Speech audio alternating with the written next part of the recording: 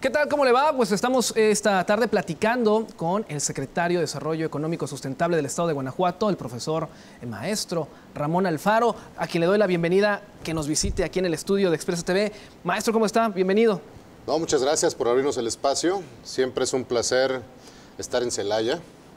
Sabemos de los retos en materia económica que se tienen aquí en la región que nosotros la, la, identificamos, ahorita escuchamos de, fondo, el tren.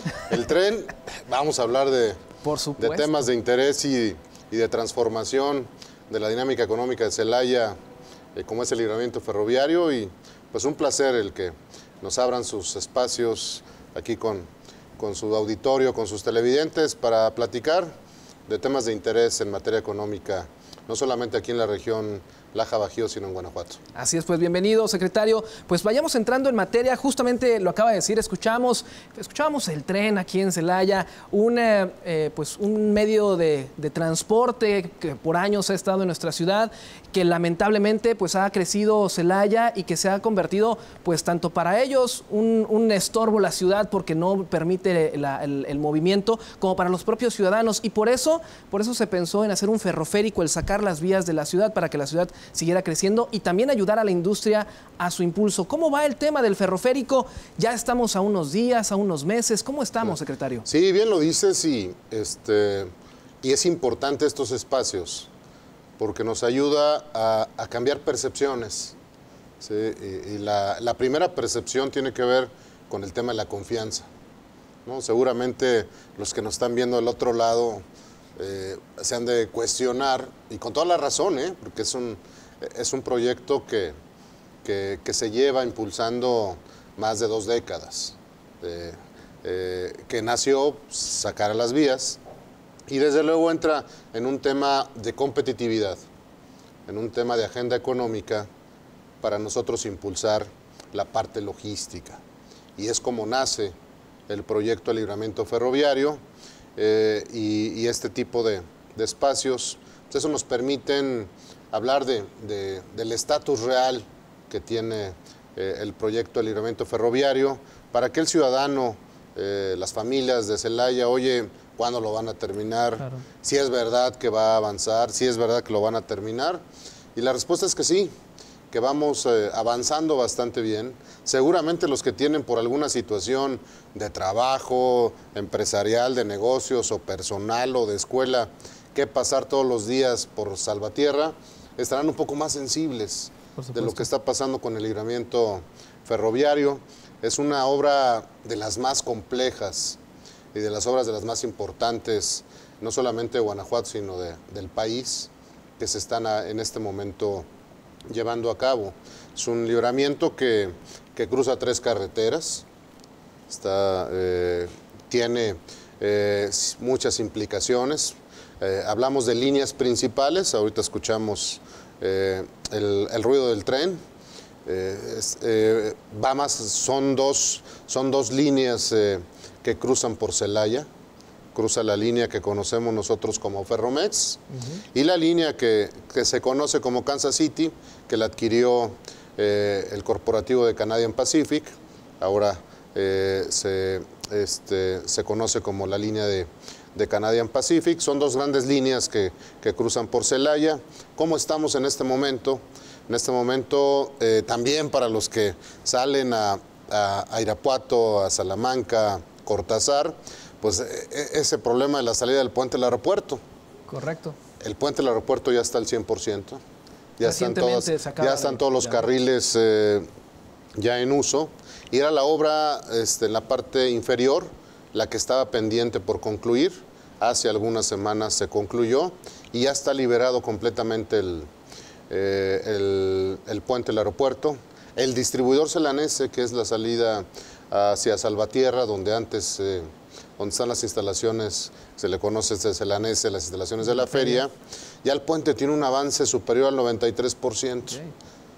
Esto va a permitir que en próximos meses, hablamos escasos dos meses, antes de que concluya el año. Antes de que concluya el año, los trenes de largo itinerario son los trenes que vemos pasar por la ciudad de aproximadamente 3 kilómetros de longitud de la línea de Ferromex dejen ya de pasar por la ciudad.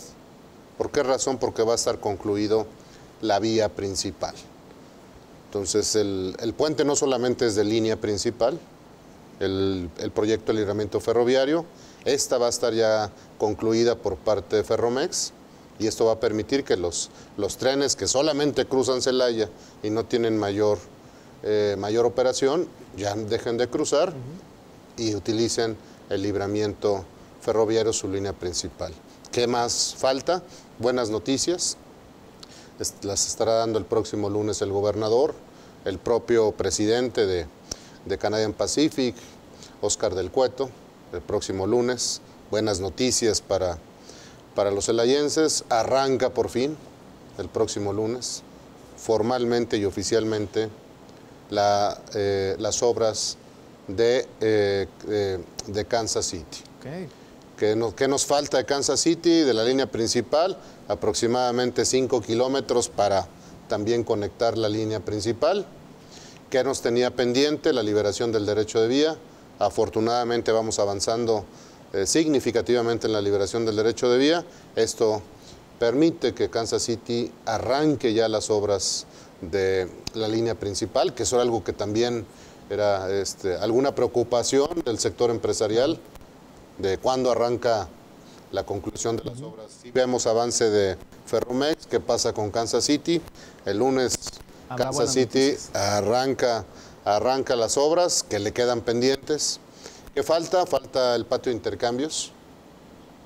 Obras de patio de intercambios, falta cerladeros, falta el patio operativo, tanto de Ferromex como de, como de Kansas City falta modificar, falta eh, reubicar unas líneas eh, de alta tensión que están eh, también incluidas en el proyecto y también obras hidráulicas. Sería de manera muy general las obras que quedan pendientes, en el avance que traemos nosotros en, en semanas, en reuniones quincenales que se tienen con con las concesionarias, con el propio gobierno federal, que agradecemos toda su colaboración eh, a través de la Secretaría de Infraestructura, Comunicaciones y Transportes, eh, podemos nosotros eh, todavía en, en, este momento estar con la confianza de que se puedan concluir el próximo año todas estas obras y pueda estar funcionando el libramiento ferroviario con todos sus componentes. Correcto. Esto nos va a llevar al segundo paso que es el puerto seco. Que era lo que, era lo que iba a preguntar. Este, este nada más es el primer paso. Este es... es que este es el paso uno, porque a veces cuando también preguntan, oye, y el puerto interior, como también se le conoce, el puerto interior 2, este, pues el puerto interior 2 depende de, la infraestructura del libramiento ferroviario. En el momento en que la infraestructura del libramiento ferroviario esté concluida, entonces de esa infraestructura le da factibilidad para el puerto seco. La vocación del puerto seco principalmente es en materia logística, para aprovechar que en pocas partes, de, en pocos lugares del país cruzan las dos vías principales, que es eh, Kansas City y Ferromex, y es en Celaya. Entonces, eh, el puerto seco eh, estará arrancando seguramente el próximo año. El estatus que traemos del puerto seco es el proyecto del estudio de factibilidad, todo el modelo de negocios, todo el plan maestro y el trabajo con los inversionistas. Este es un proyecto de inversión público-privada en el que va a estar participando el gobierno del Estado. Nosotros tenemos una reserva territorial eh, en ese sitio.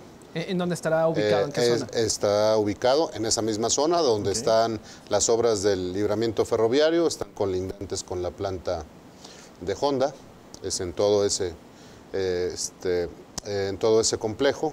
Ahí este, tenemos nosotros reserva territorial y es como vamos a estar arrancando la primera etapa del puerto seco con los terrenos que son propiedad del gobierno del Estado en una inversión público-privada y también, hablando de anticiparnos, esperemos que en este mismo año darles las buenas noticias de que ya ya tenemos la formalización, tenemos el plan maestro, el modelo financiero y de negocios y posteriormente ya el recurso que también tenemos, tenemos recurso eh, asignado por parte de, de la Secretaría de Finanzas, 250 millones de pesos para este arranque del proyecto, para este mismo ejercicio fiscal. Entonces vamos avanzando bien, eh, eh, esto nos, nos va a acelerar las obras de libramiento ferroviario, que también por las obras del el puerto seco podamos estar saliendo paralelamente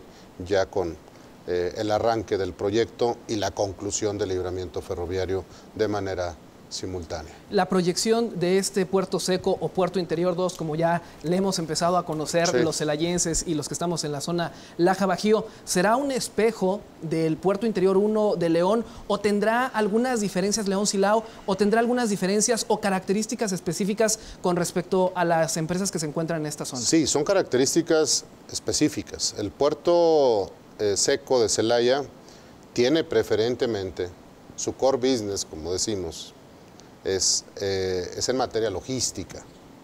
Vamos a aprovechar la infraestructura del libramiento ferroviario. Entonces el enfoque del puerto, del puerto seco es preferentemente en materia logística. Lo que conocemos en puerto interior preferentemente es un tema industrial, es un tema de, este, de instalación de empresas. El puerto seco es es más el enfoque de materia logística. Sí se tiene contemplado en siguientes etapas instalación de empresas, seguramente. Eh, las diferencias vienen en materia logística, en transporte ferroviario, desde luego se va a tener considerado y es cosa que ya comentaremos en cuanto esté ya los pormenores de los componentes, pues seguramente se estarán haciendo las gestiones para que también haya una, eh, un tema también relacionado con el comercio exterior, ¿sí? por, por temas de, de importación y de exportación de mercancías. esto pues, se va a tener que hacer un acercamiento y negociación con el gobierno federal a través de la Dirección General de Aduanas, ya lo estaremos comentando, pero sí es especializado, es infraestructura especializada en materia logística y relacionado con el transporte transporte de carga. Correcto, cambiando ligeramente de tema, pero bueno, va de la mano justamente con esta parte del ferroférico, del puerto seco que tendremos aquí en Celaya, en la región preguntarle, recientemente lo hemos visto que salió del país acompañando al gobernador de manera individual, hablando con inversionistas. ¿Qué noticias hay para, la región Laja Bajío? ¿Ya hay eh, inversión interesada en, estas, en estos viajes que se hizo? ¿Cómo van las negociaciones? Eh, ¿Son las empresas que llegarían son armadoras, son eh, proveedores de armadoras, o ahora que también está aquí en Celaya eh, Horizonte, que se está pues adentrando a la parte de, la cuestión aeronáutica. ¿Cómo está en esa parte aquí el Bajío? Sí, eh, la inversión es dinámica. fue una gira muy exitosa. resultados de la gira van a venir más inversión, desde luego eh, el estar explorando mercados como Japón. Japón eh, tiene características muy, muy especiales eh, con relación a otro tipo de inversión. Yo en los más de 25 años que tengo atendiendo inversionistas, los japoneses son una inversión de largo plazo, no son rápidos para tomar decisiones pero sí son confiables y son seguros. Eh, dentro de los resultados de la gira es, empieza nuevamente, en el caso de, los inversionistas en Japón, a reactivar sus proyectos de inversión. Eh, aquí en la región de, de, Celaya, pues tienen ustedes dos, empresas que eh, son parte de, eh, de las anclas de la industria automotriz en el país, que es la planta de Honda y la planta de Toyota, aquí en Apaseo. Vienen, eh, estuvimos en esta misma semana eh, estando presentes en la inauguración de una empresa que se ha hecho poco y, y, es una empresa que es de las más importantes en el mundo, fabricante de chasis. Y es mexicana, pero se dice poco. Y ellas, ellos pueden competir con cualquier empresa en cualquier parte del mundo. Y tienen, tienen empresas en la India, tienen, tienen, tienen plantas en, en, China, en el propio China. Eh, ellos, van a, ellos arrancan la, la planta para el nuevo modelo que estará en próximas semanas ya produciéndose en la planta de Toyota. Viene un tema muy importante de transición de las plataformas automotrices a vehículos eléctricos, eh, y no solamente va a ser Toyota, sino seguramente las demás plantas estarán haciendo sus adecuaciones para recibir este, este nuevo tipo de, vehículos. Vienen eh, eh, anuncios y estamos concretando algunos proyectos que se los estaremos dando a conocer eh, aquí para la región de Celaya, para la región de, de Laja Bajío. Hemos, tenemos al día de hoy ya una inversión que, como lo decía el gobernador, la expectativa eran 5 mil millones, hoy ya tenemos 6.448 millones. Y yo estoy seguro por los proyectos que traemos ya en cartera, próximos por concretar, algunos ya inclusive concretados, pendientes de anunciar, estaremos superando eh, sin lugar a dudas antes de que termine la administración los 7 mil millones y todavía dejaremos una cartera de proyectos importantes para la siguiente administración. Eh, parques como el Chuy María, vienen proyectos identificados para el Parque Chuy María, para el Parque Ameche, en el paseo. Eh, vienen también proyectos que tenemos identificados y seguramente en toda la carretera 45, eh, en Ciudad Industrial, en el sector alimentos, hay también buenas noticias de empresas que van a crecer en el rubro de alimentos. Dos grandes proyectos en Celaya son lo que podemos compartir. Ya los pormenores les, les corresponden a los propios inversionistas, pero tan solo en la ciudad de Celaya, en sector alimentos, dos proyectos importantes que seguramente este año se estarán dando a conocer. Bueno, pues ya estaremos al pendiente porque de alimentos son industrial, tengo en mente dos, aunque, hay, aunque hay varios. Hay, está, dos importantes. Eh, pues está, Capistrano, está, eh, está la, oh, planta de cereales, se fue el nombre de esta empresa de cereales, que son los que están en la zona industrial. Entonces, probablemente, y, digo, yo conozco, yo en algún momento tuve la oportunidad de estar dentro de Capistrano y sé que siempre están creciendo, creciendo, entonces no sé, igual y por ahí, por ahí nos Sí, y, este, y tenemos, insisto, otra, otra empresa importante que va, va a anunciar una nueva planta también aquí en Celaya del sector alimentos. Y, este, como bien lo comentaste, el sector aeroespacial pues, es un sector que eh, para nosotros es, eh, es, es, fundamental seguir apostándole a la diversificación de la economía. Lo comentaba este, hace algunos eh, momentos con, con los compañeros también de los medios y lo comparto con ustedes. El tema de logística no hay que verlo como un sector soporte, sino es como un sector estratégico. Eh, inversión en materia y en el sector logístico va a ser un gran detonador en la región de Celaya. El sector aeroespacial ya en sus eh, segmentos va también a, a ser también un sector muy representativo en la zona y el sector médico ahora que estamos y hablamos del buen tono, eh, estamos nosotros trabajando conjuntamente el director del puerto interior con un servidor, no solamente para rescatar el inmueble del, buen tono, que, este, que, es importante para la identidad y el rescate eh, eh, de, edificios y de la cultura en Celaya y del celayense. Eso está muy bien, pero hay que darle un uso, un uso ya con una vocación de futuro, al, buen tono y en eso lo estamos rescatando. Hemos trabajado y hecho mesas de, eh, de negociación con el sector empresarial de Celaya y hemos ajustado el proyecto precisamente para darle esa connotación. Correcto. Vamos a trabajar en temas de emprendimiento adentro del buen tono.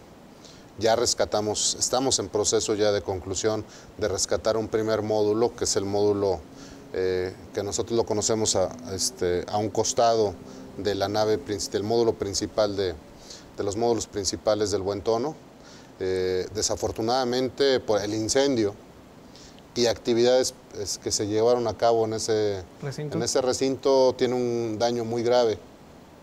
Eh, está catalogado por, por el INA y esto también nos retrasa algunas autorizaciones. también reconocemos la colaboración del INA que nos ha permitido no detenernos. Hoy estamos ya casi próximos a, a rescatar el, el módulo más pequeño y vamos a entrarle fuertemente con el módulo principal, que es la parte central del edificio. está el ventanal. Donde está el ventanal. Eh, es primera parte rescatar, segunda, este, trabajar en las instalaciones, voz y datos, toda la parte de equipamiento y eh, la parte 3 ya son las activaciones. Vamos a generar ya activaciones y también es no ver el buen tono como un, eh, como un solo inmueble. Vamos a tener lo que conectar con los, eh, eh, los inmuebles de las antiguas instalaciones de la feria. Vamos a tener que generar algún circuito para no dejarlo aislado. Vamos a resolver el tema del estacionamiento también en el, en el edificio y darle una, eh, eh, una utilidad de emprendimiento, de innovación, de desarrollo tecnológico y también de atracción de inversiones. Estamos buscando una empresa ancla que también se pueda albergar en las instalaciones con eh, con una orientación de desarrollo tecnológico. Hace unos días, perdón, hace unos días daba usted a conocer 6 millones de pesos los que se estarán invirtiendo de manera inicial ahí en el, en el hub. 17. 17 Ya lo actualizamos, 17 millones. llevamos una inversión al día de hoy eh, casi los 4 millones de pesos. Vamos a concluir esa inversión inicial de 17 millones y atrás de esa inversión de 17 millones vienen 60 millones adicionales. A veces me han preguntado cuánto implica rescatar completamente el buen tono. Esto es dinámico. Yo esperaría que eh, además de estos 60 nos permita seguir ya teniendo ya algunas activaciones dentro del inmueble. Seguramente va a superar los 100, 150 millones.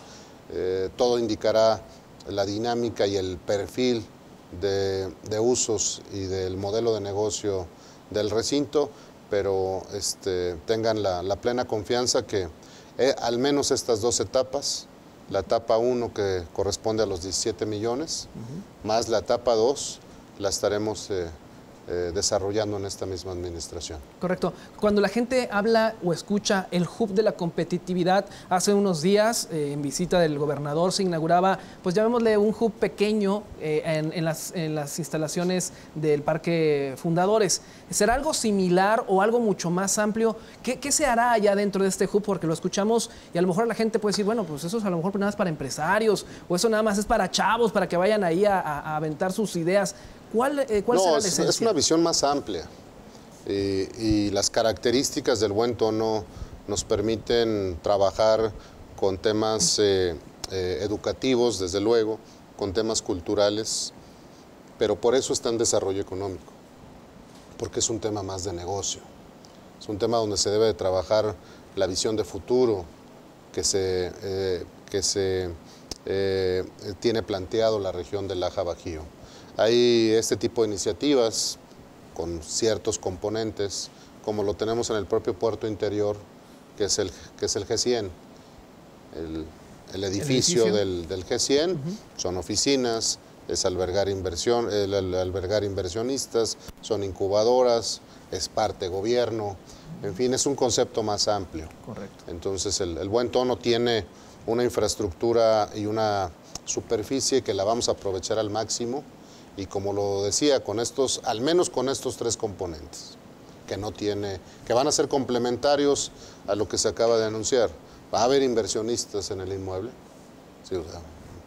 debe de haber empresas, debe de haber acciones de emprendimiento, debe de tener también la parte de relación con gobierno y la parte de trabajo de visión de futuro. Entonces, eh, este tipo de, este, de modelos que son flexibles, que son modelos acordes a la necesidad de generar, como lo llegó a plantear en su momento nuestro buen amigo Mauricio, pues es que en este, que en este sitio eh, nos permita que, que haya ese ecosistema de visión de futuro para Celaya.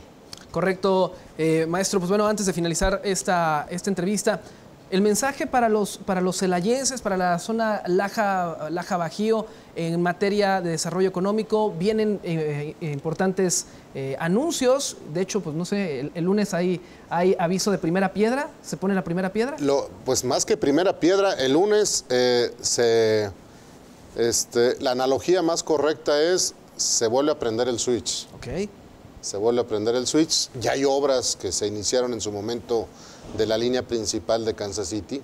Kansas City, porque es parte de, que tenemos que comunicarlo y ese sí ha sido un gran reto por parte de nosotros. ¿Cómo lo comunicamos con el celayense para que lo, lo, pueda, este, lo pueda asimilar? Pues Kansas City, la línea principal de Kansas City son 21 kilómetros. La línea principal de Ferromex son 24 kilómetros de vías que cruzan por puentes, por ríos. Eh, este, ya hay obras que se iniciaron en su momento. Es una obra que lleva más de 10 años que arrancó desde, desde el gobierno de Felipe Calderón, pasó por el gobierno de Peña Nieto y hoy se retoma con el gobierno federal de López Obrador y, este, y nosotros como responsables a nivel estatal.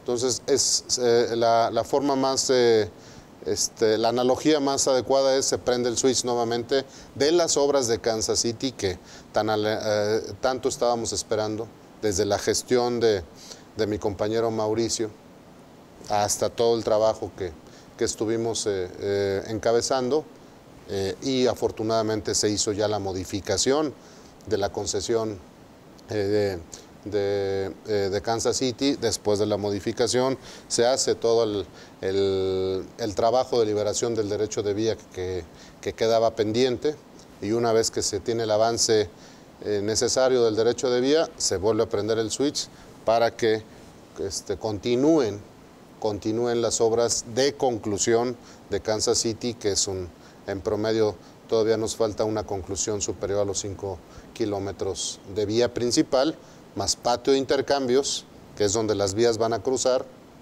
y los patios operativos y laderos de cada, concesionario. Correcto. Eh, algo que me faltaba preguntarle, maestro, eh, ¿qué va a pasar con la vía que cruza por Celaya? El gobierno federal sí la va a entregar al municipio, la va a entregar al Estado. ¿Qué va a pasar con esta, con esta vía pues que literal cruza Celaya de, de extremo No, es una, por eso digo que vienen muchas oportunidades para Celaya. Y aquí hay que reconocer el liderazgo de los empresarios. Este, gracias a ese liderazgo y a esa tenacidad eh, eh, se ha seguido avanzando. Y viene un gran desafío en el momento en que las concesionarias dejen de eh, cruzar la ciudad, pues las, vías dejarán de tener un uso. y esta es la gran pregunta, ¿qué se va a hacer con, ese, este, con, ese, con, ese, con esa infraestructura? Ya hay un planteamiento, eh, la semana pasada eh, se tuvo ya una reunión eh, con el gobierno federal, también se, en presencia del gobernador y del alcalde y de los empresarios, algunos líderes empresarios de Celaya, y ya se tiene conformada una mesa de trabajo. En esa mesa de trabajo estamos nosotros coordinándola como desarrollo económico para dos, temas. Se tiene que ver este, el enfoque de manera paralela. Uno es jurídicamente lo que corresponde para poder generar esa eh, transición, desincorporación de las vías, como bien lo externas, y las podamos nosotros recibir, ya sea municipio, gobierno del Estado, todavía ese proceso no está este, definido, se, se va a trabajar en la vía en, la vía jurídica para el proceso, el proceso de la desincorporación. Pero la federación sí está dispuesta a entregarlos. Sí, claro. Sí, desde luego. Este, y ese es un, ese es un, ese es un trabajo este, que se va a estar, eh, ya está conformado la, la, mesa y se va a estar trabajando por esa vía. El otro, que es el más importante, los dos son importantes, pero el otro también es el uso que se le va a dar y en el uso que se le va a dar, pues seguramente va a ser un tema de movilidad para mejorar la movilidad eh, de la ciudad y también estará encabezado por ese trabajo por los empresarios de Celaya, en el que estaremos trabajando de manera conjunta municipio y gobierno del Estado. ¿Qué, les, qué, ¿Cuál ha sido la propuesta? Dice movilidad, es que serán, se utilizarán, se quitarán las vías o se dejarán, será un tren bus. Eh, ¿qué, qué, planteamientos se han hecho? Hay propuesta conceptual, esta propuesta conceptual eh, creo que este, el sector empresarial de Celaya la conoce, esa propuesta la, la, hizo el propio Consejo Coordinador, la Asociación de Empresarios Celayense, cabezada por mi buen amigo Ismael Pérez. Es una propuesta de movilidad, una movilidad de, utilizar las instalaciones para mejorar el transporte público de la ciudad de Celaya. Entonces, eh, es, el, es, es, la propuesta que se tiene. Después del proyecto conceptual, se tiene que trabajar en un proyecto, en un estudio de factibilidad.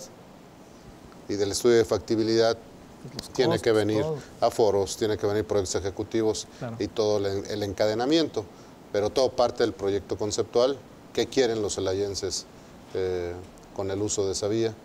Eh, de manera inicial se cuenta con ese proyecto conceptual eh, y sobre ese proyecto conceptual se va a estar avanzando para contar ya con un proyecto completo. Secretario, pues hay muchas cosas, muchas cosas para Celaya, cosas positivas afortunadamente en cuestión de logística, en cuestión de inversiones, en cuestión de proyectos, en cuestión de todos lados. Eh, sí, en cuestión económica viene, viene un gran momento para Guanajuato, viene un gran momento para Celaya. Eh, creo que la, región Laja Bajío eh, no solamente va a ser un tema de industria automotriz, se habla poco también de, de empresas celayenses que son son importantes. Una de ellas es MAVE. Pocos saben que la planta de MAVE es de las más, plantas más grandes, más importantes a nivel Latinoamérica. También fabricamos refrigeradores que están en cualquier parte del mundo. Entonces el tema electrodomésticos también es, es muy fuerte. Celaya tiene un gran potencial que es, la, que es la diversificación. Creo que el gran mensaje que podemos dar es continuidad es fundamental seguir generando la continuidad, que es lo que le ha caracterizado a Guanajuato. El rumbo ya está marcado. No, las cosas no suceden por, eh, por obras de la casualidad. El, libramiento ferroviario, si bien nació de una situación eh, de problema de cruce de la ciudad, se aprovecha con un enfoque económico y no por nada está Honda instalada ahí, eh, cercano a, donde está el proyecto eh, crucial de libramiento ferroviario. Entonces, las obras eh, no suceden por, por temas de la, por obras de la casualidad, entonces yo lo dejaría, ya que estamos a cierre de administración, continuidad, seguir fortaleciendo la diversificación de los sectores en la región, por favor, con los celayenses es el desarrollo económico es regional. ¿Dónde se impacta el desarrollo económico? Inclusive hasta en Querétaro. El desarrollo económico es regional. Hay que verlo en ese enfoque. Por eso nosotros no solamente vemos el Haya, vemos la región Laja-Bajío. Correcto. Toda la región. Y trabajar en un enfoque regional, que es, es algo este, necesario y fundamental diversificación, desarrollo regional y nos queda un apartado que es fundamental para soportar este desarrollo y tiene que ver con el capital humano. O sea, tenemos, ese es el hub. ¿Qué perfiles, qué competencias, qué carreras va a requerir Celaya?